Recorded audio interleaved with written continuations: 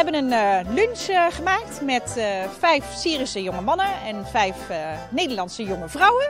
Syrische lunch. Vluchtelingen, ehm, oude veteranen, maar ook mensen die gewoon geïnteresseerd zijn. En het is de bedoeling dat je elkaar ontmoet en met elkaar verhalen deelt. En samen koken, samen eten is gewoon het middel om mensen te laten kennismaken met elkaar en of bindt wel. Ja, dat heb ik wel ervaren. Ja.